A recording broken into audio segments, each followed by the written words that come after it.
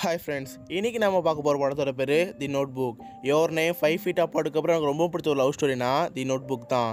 எனக்கு அவ்வளோக்கா love story சொல்லி பழக்கம் இல்லை பட் இருந்தாலும் என்னால் முடிஞ்ச அளவுக்கு ப்ரெசென்ட் பண்ண ட்ரை பண்ணுறேன் இப்போ வாங்க கதிக்குள்ளே போகலாம் நீங்கள் பார்த்துரு முஸ்டாலி சேனல் எம்பர் லைக்ஸ் இந்த படம் ஃபுல்லாகவே ஒரு வயசான நபர் எழுதுனா நோட் புக்கை பேஸ் பண்ணி தான் இருக்கும். அதனால் அவர் பெர்ஸ்பெக்டிவ்லேயே இந்த ஸ்டோரி சொல்ல ட்ரை பண்ணுறேன் ஹாய் எம்பர் டியூக் உங்கள் அப்பா பேர் என்ன? கேட்டியமாலாம் கேட்காதீங்க. எம்பர் டியூக் தான். நான் ஒரு காதல் மன்னன். அதுக்கு நான் ப்ளே பாய்லாம் கிடையாது. நான் நல்லாவே லவ் ஸ்டோரி சொல்லுவேன். இப்போ கூட ஹேமில்டனுங்கிற ஒரு பெண்ணுக்கிட்ட லவ் ஸ்டோரி சொல்ல தான் போகிறேன் அவள் யாரோ ஒரு நபருக்காக ரொம்ப நாள் வெயிட் பண்ணிட்டே இருக்கா. ஜன்னல் உட்காந்து நதியை பார்த்துட்டு இருப்பா. அப்போது ஒரு நபர் படகு ஓட்டு போவார். அவள் எதுக்காக வெயிட் பண்ணுறான்னு யாருக்குமே தெரில எனக்கு தெரிஞ்சு அவள் யாரோ ஒரு நபருக்காக வெயிட் பண்ணுறா அவளுக்காக தான் நான் காதல் கதை சொல்ல போகிறேன் அந்த காதல் கதை ரொம்ப அழகாக இருக்கும். அதை நீங்களும் உட்காந்து கேளுங்க. ஜூன் சிக்ஸ் நைன்டீன் ஃபார்ட்டி இந்த கதையோட ஹீரோ பேர் நோவா ஹீரோயின் பேர் ஆலி. எல்லா காதல் கதை மாதிரி தான் இந்த காதல் கதை இருக்க போகுது. நம்ம ஹீரோயின் ஒரு மிகப்பெரிய பணக்காரி பட் நம்ம ஹீரோ ஒரு ஏழை. இவங்களுக்குள்ள இருக்கிற ஒரு அழகான காதல் கதை தான் இப்போ நான் சொல்ல போகிறேன் இப்போ ஒரு அழகான ஃபெஸ்டிவல் மோட் அங்கே நம்ம ஹீரோ வரான். நம்ம ஹீரோவோட நோவா அவன் ஃப்ரெண்டான ஃபிஞ்ச் கூட போயிட்டு இருக்கான். அப்போ ஒரு அழகான பெண்ணை பார்க்குறான் அதான் ஆலி. ஆலியை பார்த்த முதல் செகண்ட்லயே நோவாக்கே ஆலியை பிடிச்சி போகுது. இதனால அவன் ஃப்ரெண்டான ஃபின்ச்சு கிட்ட ஆலியை பற்றி கேட்டு தெரிஞ்சுக்கிறா. ஆலி ரொம்ப ரொம்பவும் பெரிய பணக்காரி. கடவுள்கிட்ட கூட அவ்வளோ காசு இருக்குமான்னு தெரில பட் அவங்க அப்பா கிட்ட ரொம்ப காசு இருக்குன்னு சொல்லிக்கிட்டு இவன் ஃப்ரெண்டான அனுப்பின்னு சொல்கிறான் இதை கேட்குற நோவாக்கு பணத்து மேலே ஆசையே இல்லை. அவன் பார்க்குற ஆலிங்கிற அந்த பொண்ணு அவனுக்கு ரொம்ப பிடிச்சி போகுது. அவ கூட டேட் பண்ண நினைக்கிறான். இப்போ ஆலிங்கிற அந்த பொண்ணு ஜெயின் வேலையை ரைடு போக ட்ரை பண்ணுறா அப்போ நம்ம ஹீரோ உள்ளே புகுந்து அவளை மிரட்ட ஆரம்பிக்கிறான். நீ ஒரு நாள் என் கூட டேட்டிங் வா இல்லைனா கையை விட்டு கீழே விழுந்து மிரட்டுறான். இதனால் வேற வழி தெரியாத ஆலியும் நான் வரேன்னு ஒத்துக்கிறான். அடுத்த நாளும் ஆகுது. ஆலியை மீட் பண்ணுறான் ஆலி கிட்ட டேட்டிங் போகலான்னு சொன்னேன். வா எப்போ போகலான்னு கேட்குறான் அதுக்கு ஆலி இருந்துக்கிட்டு நான் அவங்க டேட்டிங் வர மாட்டேன் நீ என்கிட்ட பேசுன மாதிரி எத்தனை பேர்கிட்ட பேசுவேன்னு சொல்லிக்கிட்டு அவள் சொல்ல ஆரம்பிக்கிறா. அதுக்கு நோவாக இருந்துக்கிட்டு நான் இது வரைக்கும் அவகிட்ட அப்படி பேசுனதே இல்லை. நான் உன்னை பார்த்தேன். உன் கண்ணு ரெண்டு அவ்வளோ அழகாக இருந்துச்சு. எனக்கு ஒரு மாதிரி என்னமோ தோணுச்சு. நீ எது சொன்னாலும் செய்யணும்னு தோணுச்சு. இப்போ கூட நீ என்ன சொன்னாலும் செய்வேன்னு சொல்லிக்கிட்டு நோவா சொல்கிறா அதுக்கு ஆள் இருந்துக்கிட்டு நீ அமைதியாக வந்தால் போதுமென்னு சொல்லிக்கிட்டு அந்த இடத்துட்டு போகிறா நோவா பொறுத்த வரைக்கும் ஆளை தன்னை அவாய்ட் பண்ணணும்னு நினைக்கிறான். அன்னைக்கு நைட்டு ரெண்டு பேர் தேட்டரில் மீட் பண்ணுறாங்க ரெண்டு பேர் உட்காந்து படம் பார்க்குறாங்க படம் முடிஞ்சதுக்கப்புறம் ஆலி நோவாவும் நடந்துக்கிட்டே பேசிட்டு போகிறாங்க ஆலி தான் மனசுக்கு இருக்கிற கஷ்டங்கள் எல்லாத்தையுமே நோவா கிட்டே ஷேர் பண்ணுறா இந்த மாதிரி பணக்காரங்க வீட்டிலாம் பறக்கவே கூடாது. எங்களுக்கும் டென்னிஸ் கிளாஸ் போகணும் ஸ்விம்மிங் கிளாஸ் போகணும்னு சொல்லிக்கிட்டு நிறைய வேலை இருக்குது நான் சின்ன வயசில் தேட்டருக்கு வந்தது அதுக்கப்புறம் இப்போ தான் வரேன். எனக்கு தேட்ரு போகணுன்னு ரொம்ப ஆசையாக இருக்கும் பட் எங்கள் அப்பா விட மாட்டேங்காரு உங்களுக்கு என்ன ஜாலியாக இருக்கீங்க போலன்னு சொல்லிக்கிட்டு நோவாவை கேட்குறா நோவாக இருந்துக்கிட்டு ஒரு நிமிஷம் வாங்களே நான் உங்களுக்கு ஒன்று காட்டுறேன்னு சொல்லிக்கிட்டு ரோட்டில் படுத்து தூங்குறான். ரோட்டில் படுத்துக்கிட்டு இங்கே பாருங்கள் இப்போ ரொம்ப இருட்டாயிருச்சு இந்த ரோட்டில் யாரும் வர மாட்டாங்க நான் என் அப்பா கூட தேட்டர் வரும்போது கூட இந்த மாதிரி நான் படுத்துவேன். படுத்துக்கிட்டு அந்த சிக்னலை பார்க்கும்போது ஏதோ ஒரு ஒன்று எனக்குள்ளே வரும். சீக்கிரம் சீக்கிரம் நீங்களே என் பக்கத்தில் வந்து உட்காருங்க அதை உங்களால் ஃபீல் பண்ண முடியும்னு சொல்லிக்கிட்டு அவளை கூப்பிட்றா. ஆலையும் நோவை நம்பிக்கிட்டு படுத்து தூங்குறா. இந்த நேரத்தில் ஒரு கார் வருது. ஏங்க ஏங்க எந்திரிங்கன்னு சொல்லிக்கிட்டு ரெண்டு பேர் ரோட்டை விட்டு ஓரமா போகிறாங்க ஆலி நோவை பார்த்து உன்னை நம்பி ரோட்டில் படுத்தம் பாடுறா என்னதுக்கு செத்து போயிருன்னு சொல்லிக்கிட்டு சிரிச்சிட்டு இருக்காங்க இப்போ நோவாக இருந்துக்கிட்டு நான் உங்களுக்காக ஒரு பாட்டு பாடுறேன். நம்ம ரெண்டு பேரும் சேர்ந்து டான்ஸ் ஆடுவோம்னு சொல்லிக்கிட்டு அவன் பாட்டு பாடிட்டு டான்ஸ் ஆடுறான். அதுக்கு ஆள் இருந்துக்கிட்டு டே நீ கேவலமாக பாடுறான்னு சொல்கிறான் பரவாயில்லைங்க எனக்கு பாட்டு பாடுன்னு தோணுச்சு அதனால் பாடினேன். உங்களுக்கு பிடிக்கலன்னு சொல்லுங்க நான் ஸ்டாப் பண்ணேன்னு சொல்லும்போது ஆள் இருந்துக்கிட்டு பாட சொல்கிறா இப்போ உங்கள் ரெண்டு பேரும் பாடிக்கிட்டு பழக ஆரம்பிக்கிறாங்க. இப்படியே நாட்கள் உருண்டோடி போச்சு. நாங்கள் ரெண்டு பேரும் க்ளோஸ் ஆனோம். நான் ஒரு நாள் எங்கள் அப்பா கிட்ட ஆலியை கூட்டி போய் காமிச்சேன். ஆலி எங்கள் அப்பாவுக்கு ஒரு கிஃப்ட் கொண்டு வந்தா அது ஒரு டிராயிங் சொல்லப்போனேன் ஆலி நல்லாவே படம் வரைவா அவள் படம் வரைஞ்சது பார்த்து எங்கள் அப்பாவும் மறந்து போயிட்டாரு. எங்கள் அப்பாவுக்கு ஆலிலாம் ரொம்ப பிடிச்சி போயிடுச்சு. அதுக்கப்புறம் ஒரு நாள் நான் ஆலியோட அப்பாவை மீட் பண்ண போனேன். அவங்க அப்பா என்னை கேவலப்படுத்தினாரு. நாள் இவ்வளோ சம்பாதிக்க முடியும்னு சொல்லிக்கிட்டு என்கிட்ட கேட்டார். அதுக்கு நான் பதில் என்ன சொல்லணும்னு தெரியாமல் தகச்சு போய் நின்னேன். இதுக்கப்புறம் நானும் அவளோட இலக்கம் பழக ஆரம்பித்தோம் அது அவங்க அப்பா அம்மாவுக்கு பிடிக்கல. அவங்க அப்பா அம்மா பொறுத்த வரைக்கும் நாங்கள் ரெண்டு பேரும் கொஞ்சம் நாள் கழிச்சு பிரிஞ்சு போயிடுவோம்னு நினச்சாங்க. பட் எங்களுக்குள்ள இருக்கிற லவ்ங்கிறது டே பை டே வளர்ந்துட்டு தான் போச்சு. ஒரு நாள் நான் ஆலியை ஒரு கைவிடப்பட்ட வீட்டுக்கு கூட்டி போனேன். அதான் எனக்கு பிடிச்ச இடமும் கூட. அந்த வீட்டை வாங்கணும். அதில் ஆலியோட சந்தோஷமாக ஆளுங்கிறது என் ஆசை. அந்த விஷயத்த நான் ஆலி கிட்ட சொன்னேன். ஆலிக்குமே இந்த வீடு ரொம்ப பிடிச்சி போச்சு. கண்டிப்பாக நம்ம இந்த வீட்டை வாங்கி ப்ளூ அண்ட் ஒயிட் பெயிண்ட் அடித்து சந்தோஷமாக ஆகணும்னு சொல்லிக்கிட்டு அவளும் சொன்னான். அதுக்கப்புறம் பியானோலாம் வாசிச்சா எனக்கு அதில் மயங்கியே போயிட்டேன். அதுக்கப்புறம் நாங்கள் ரெண்டு பேரும் தப்பான ஒரு முடிவுக்குள்ளே போனோம். நாங்கள் ரெண்டு பேரும் ரிலேஷன்ஷிப்பில் இருக்கலாம் ட்ரை பண்ணோம். பட் எனக்குள்ள இருக்கிற உணர்வு இது தப்புன்னு தோணுச்சு. இதனால் நான் ஆலியை விட்டு பிரிஞ்சு போக ட்ரை பண்ணேன். பட் ஆலி இருந்துக்கிட்டு என்னை தப்பாக புரிஞ்சுக்க ட்ரை பண்ணா. என்ன உனக்கு பிடிக்கலான்னு ஆலி கேட்டா? பட் எனக்கு என்ன சொன்னே தெரில பட் ஏதோ ஒரு காரணத்தினால என்னால் ஆலி கூட நெருக்கம் பழக முடியல. அதனால் ஆலியை கொண்டு போய் அவள் வீட்டில் விட்டேன். அவங்க அப்பா அம்மா எல்லாருமே ஆலி என் கண்ணு முன்னாடி திட்டினாங்க. அவள் எவ்வளோ பெரிய பிச்சைக்காரன் நீ போய் அவ கூட பழகிட்டு இருக்கேன்னு சொல்லிக்கிட்டு என் கண்ணு முன்னாடி திட்டினாங்க. அப்போ தான் தெரிஞ்சு என் ரேஞ்ச் என்னன்னு. நம்ம தெரியாதனமாக ஒரு பொண்ணோட வாழ்க்கையில் பூந்து அவள் வாழ்க்கையை நாசம் மட்டும் நினைக்கிறேன்னு சொல்லிட்டு நான் நினச்சேன். அதனால் இதுக்கு முன்னாடி எனக்கு அந்த இடத்துல இருக்க பிடிக்கல. அந்த இடத்த விட்டு போயிட்டேன். பட் ஆலி இருந்துக்கிட்டு எனக்கு ரொம்ப சப்போர்ட் பண்ணா. அவங்க அப்பாவே மீறிக்கிட்டு நான் அவ்வளோ லவ் பண்ணேன்னு சொல்லிக்கிட்டு அவங்க அப்பா அம்மா எடுத்து பேசினா. பட் எனக்குள்ளே இருக்கிற அந்த இன்ஃபீரியாரிட்டி காம்ப்ளெக்ஸ் ஏதோ ஒன்று சொல்லுது. உன்னால் முடியாதுடா நீ ஒரு ஏழை. அவள் பெரிய பணக்காரி உன்னால் ஒன்றும் முடியாதுன்னு சொல்லிக்கிட்டு என் மனசு என்கிட்ட சொன்னுச்சு. அதனால் நான் ஆலியை விட்டு பிரிஞ்சு போக ட்ரை பண்ணேன். ஆலி என்ன கேவலம் கேவலமாக திட்டினா இன்னும் ஆலி பதினஞ்சு நாள் மட்டும் இந்த ஊரில் இருப்பா. அதுக்கப்புறம் ஒரு லண்டனில் போய் செட்டில் ஆயிடுவா இந்த பதினஞ்சு நாளில் எங்கள் லவ் எப்போ இருக்க போகுதுன்னு எங்களுக்கு தெரியாமல் போயிடுச்சு அதுக்கு அடுத்த நாளே தான் எங்களுக்கு ஒரு மிகப்பெரிய ட்விஸ்ட்டாக இருந்துச்சு. ஆலியோட அம்மா அப்பா இந்த ஊரில் நம்ம இருக்க வேணாம் போகலான்னு சொல்லிக்கிட்டு ஆலியை கூட்டி போனாங்க. ஆலி என்னை கடைசியை பார்க்கறதுக்காக நான் வேலை பார்க்குறதுக்கு வந்தேன் பட் அன்னைக்குன்னு பார்த்து நான் லீவ் போட்டேன். அதனால் அவன் என் ஃப்ரெண்டான ஃபின்ச்சுக்கிட்ட அவள் புதுசாக போகிற வீட்டோட அட்ரஸை கொடுத்துட்டு போனான் நானும் அடுத்த நாள் காலைல வந்து அட்ரஸ்லாம் வாங்கிட்டு அவளுக்கு தினமும் லெட்டர் எழுத ட்ரை பண்ணேன். பட் அந்த லெட்டர் எல்லாத்தையும் எடுத்துக்கிட்டு அவங்க அம்மா அம்மா ஒழிச்சிக்கிறாங்க. பட் அது கூட தெரியாதுன்னா நான் முந்நூற்றி இருபத்தஞ்சு நாளும் தினமும் லெட்டர் எழுதினேன். பட் ஒவ்வொரு நாள் நான் வெயிட் பண்ணி பார்த்தேன். ஒவ்வொரு லெட்டர் கூட வரல. நான் மழை காலத்தை கூட போஸ்ட் பண்ண கூப்பிட்டு அண்ணா லெட்டர் வந்துச்சான்னு கேட்டேன். பட் அவர் இருந்துக்கிட்டு ஒரு லெட்டர் வரலன்னு சொல்லிக்கிட்டு எனக்கு ஏமாற்றத்தை தான் கொடுத்தாரு. இப்படியே எனக்கு ஒரு வருஷம் கடந்து போச்சு. காதலிக்காக தான் உயிரை கொடுக்க முடியல. பட் நாட்டுக்காவது உயிரை கொடுக்கலாம்னு சொல்லிக்கிட்டு நான் செகண்ட் வேர்ல்டு வாரில் மீட் பண்ணேன். வேர்ல்டு வார் டைமில் ஆர்மியில் ஜாயின் பண்ணி நாட்டு நாட்டுக்காக உயிரை கொடுக்க போனேன். பட் அங்கே ஆலியோட வாழ்க்கையே சுத்தமாக மாறிட்டு இருக்கு ஆலி காலேஜில் மெடிக்கல் டிபார்ட்மெண்ட் எடுத்து நர்ஸாக வேலை பார்த்துட்டு இருக்கா. இப்போ இந்த வேர்ல்டு வார் அடிப்படவங்க எல்லாத்துக்குமே அவள் தான் மறந்து கொடுக்குறா. அப்போ லாய்டுங்க ஒரு நபரை பார்க்குறா. அவள் என்ன மாதிரி தான் பேசுகிறான் ப்ளீஸ் எங்கோ டேட்டிங்கான்னு சொல்லிக்கிட்டு அவகிட்ட கேட்குறா அவளுக்கு என்னையே அந்த நபரோட உருவத்தில் பார்த்த மாதிரி தோணுது. அந்த நபர் கூட பழக ஆரம்பிக்கிறா. அந்த நபர் வேற ஆர்மியில் இருக்கிற கார்னல் ஒரு மிகப்பெரிய பணக்காரன். இதனால ஆலியோட அம்மா அப்பாவுக்கு அந்த நபரை ரொம்ப பிடிச்சி போகுது. அதனால ஆலிக்குமே அந்த நபரை பிடிச்சி போகுது. என்னை மறக்க ஆரம்பிச்சா. நானும் வேர்ல்டு வார்லாம் முடிஞ்சதுக்கப்புறம் எங்கள் அப்பாவை மீட் பண்ணேன். எங்கள் அப்பா எனக்காக ஒரு மிகப்பெரிய அதிர்ச்சி வச்சிருந்தாரு. நாங்கள் வச்சிருந்த வீட்டையே வித்துட்டாரு. நாங்கள் வச்சிருந்த அந்த வீட்டை விற்றுட்டு எனக்காக அந்த பணத்தை கொடுத்தாரு. எனக்கு அந்த வீட்டை வாங்கணும்னு ஒரு ஆசையாக இருந்துச்சு. அந்த பழைய வீட்டை வாங்குறதுக்காக எனக்கு காசு கொடுத்தாரு. நான் எங்கள் அப்பாவை நினச்சி ரொம்பவும் பெருமைப்பட்டேன். இதுக்கப்புறம் ரிஜிஸ்ட்ரேஷன் பண்ணுறதுக்காக டவுனுக்கு போனேன். பட் அப்போ தான் விதியை வாழ்க்கையில் விளாண்டுச்சு நான் யாரை பார்க்கக்கூடாதுன்னு நினச்சனோ அந்த பெண்ணை பார்த்தேன். அவள் தான் ஆலி. ஆலியை ஃபாலோ பண்ணிட்டே பின்னாடி போனேன். அப்போ தான் என் வாழ்க்கையில் ஒரு மிகப்பெரிய அணுகுண்டே விழுந்துச்சு. மிலிட்ரியில் இருந்து இப்போ எனக்கு வந்த வழிகளை விட இந்த வழி தான் எனக்கு ரொம்ப மோசமாக இருந்துச்சு. அதாவது ஆலியை இன்னொரு நபர் கூட நான் பார்த்தேன். இதுக்கு மேலே வேறு வழி என்ன வேணும்னு தெரிஞ்சுக்கிட்டேன்னா என் வாழ்க்கையை பார்த்துட்டு போனேன். நான் எங்கள் அப்பா எனக்காக வச்சிருந்த வீட்டை கட்ட ஆரம்பித்தேன். எங்கள் அப்பாவும் கொஞ்ச நாள் இறந்து போயிட்டாரு. பட் அந்த வீட்டை கட்ட நிப்பாட்டவே இல்லை.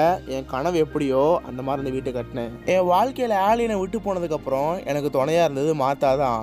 மாத்தா ஒரு வீடோ அவங்க ஹஸ்பண்ட் இறந்து போயிட்டா. பட் அவள் எங்கூட நிறைய டைம் ஸ்பெண்ட் பண்ணா எனக்கு மாத்தாவை பிடிக்க போகிற மாதிரி இருந்துச்சு. பட் என் மைண்ட் எல்லாமே ஆலி மேலே தான் இருந்துச்சு. பட் மாத்தா என் மேலே உண்மையாக லவ் வச்சுருந்தா பட் நான் அவளை மதிக்கவே இல்லை. எனக்கு ஆலி தான் பிடிக்குன்னு சொல்லிக்கிட்டு மாத்தாவை நான் அவாய்ட் பண்ணேன். பட் அது மாத்தாவை ரொம்ப ஹேர்ட் பண்ணுச்சு. என்னை அவளும் பிரிஞ்சு போக ட்ரை பண்ணா. பட் என் மனசு ஃபுல்லாகவே ஆலி மட்டும்தான் இருக்கா. ஆனால் அந்த பக்கம் ஆலியோட வாழ்க்கையே சுத்தமாக மாறிடுச்சு. அவள் வாழ்க்கையில் நான் பார்த்தங்கிற ஒரு நினைவே மறந்து போன அளவுக்கு அவள் லாய்டுக்குள்ளே பழக ஆரம்பிச்சா. மேரேஜ் ட்ரெஸ்லாம் போட்டுக்கிட்டு லாய்டு கூட மேரேஜ் பண்ணுற மாதிரிலாம் இருந்தா அப்போ அவங்க வெட்டிங் இன்விடேஷனை ஒரு நியூஸ் பேப்பரில் கொடுக்குறாங்க.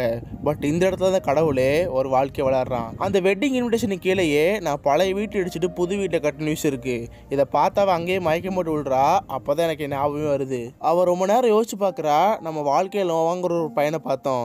பட் அந்த பையன் நம்ம வாழ்க்கையில் ஒரு லெட்டர் கூட அனுப்புறேன்னு சொல்லிக்கிட்டு அவன் நினச்சிட்டு இருக்கா. பட் எனக்கு மட்டும்தான் தெரியும் நான் எத்தனை லெட்டர் எழுதுனேன்னு.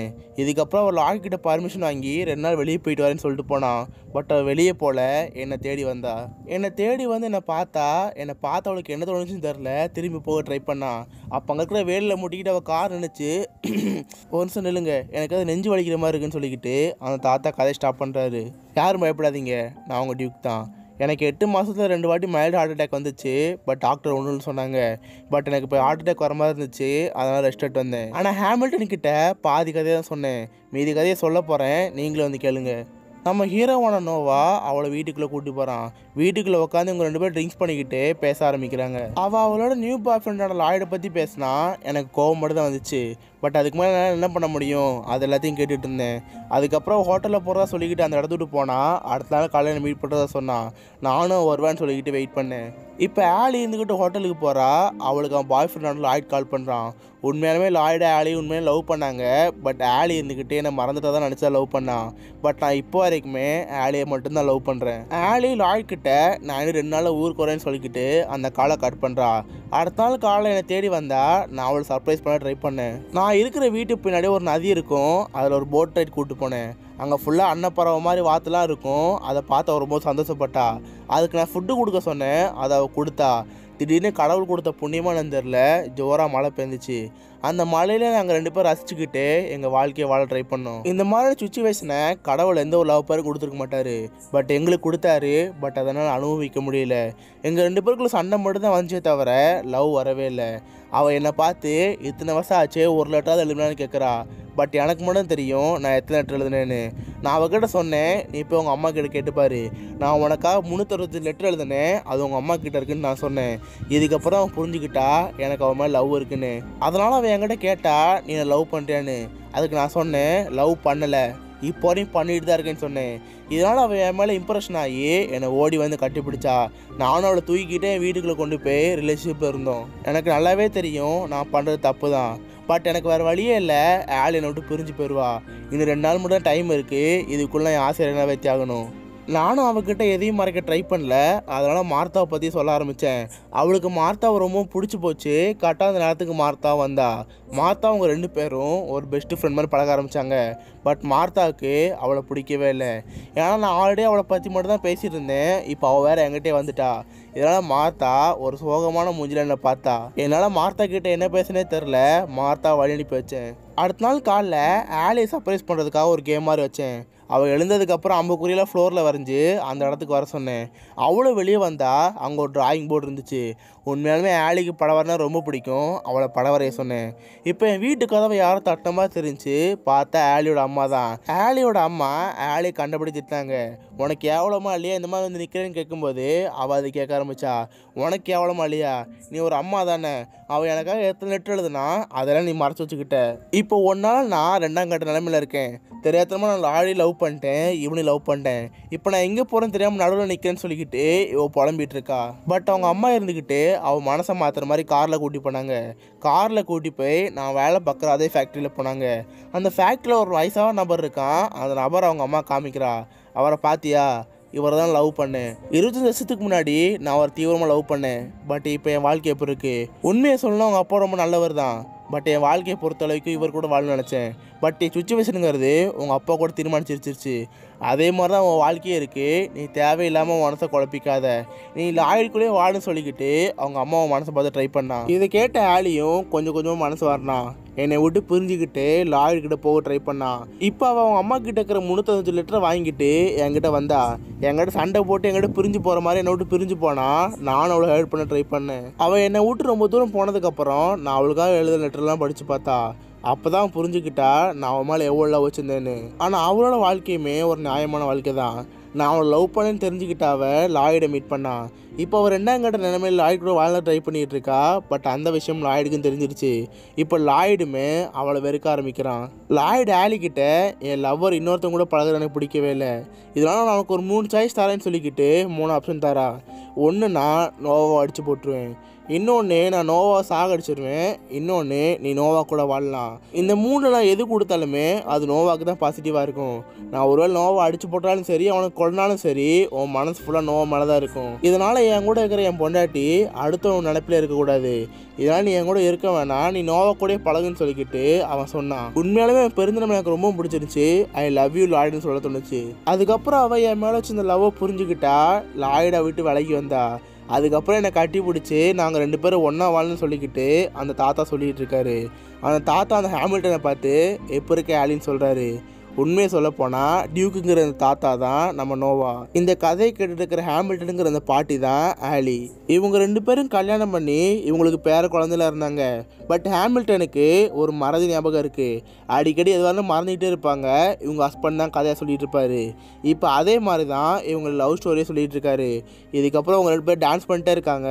கொஞ்ச நேரம் கழிச்சு ஹேமில்டனுக்கு மறந்தே போகுது. நான் அவளை பார்த்து ஆசையாக டார்லிங்னு சொன்னேன். அவள் என்னை பார்த்து நீ யாரானின்னு கேட்டா ஏன்னா அவளுக்கு சுத்தமாக மறந்துடுச்சு நான் யாருன்னு. இந்த விஷயம் என் நெஞ்சில் ஊசி எடுத்து குத்துன மாதிரி இருந்துச்சு.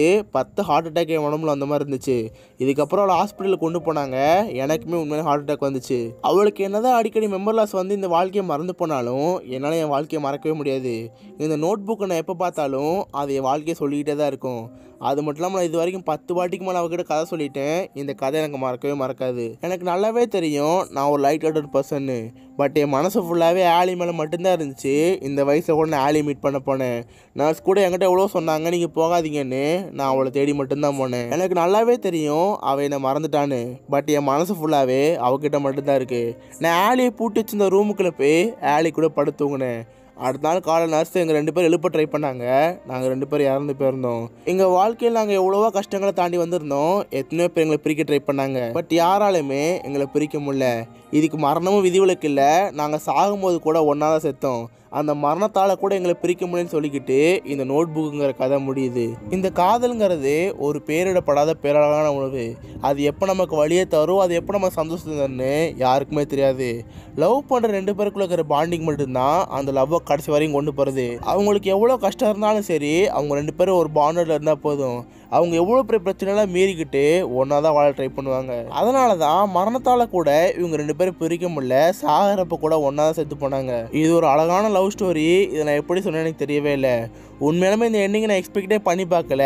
இந்த மாதிரி எத்தனை பேர் எக்ஸ்பெக்ட் பண்ணி பார்த்தீங்கன்னு சொல்லுங்கள் இந்த மாதிரி வித்தியாசமான மூவிஸை பற்றி தெரிஞ்சுக்க மிஸ்டர் சப்ஸ்கிரைப் வச்சுக்கோங்க உங்களை அடுத்த நாள் ஒரு ஆசமான வின் பண்ணுறேன் ஸோ அது வரைக்கும் பாய் கைஸ்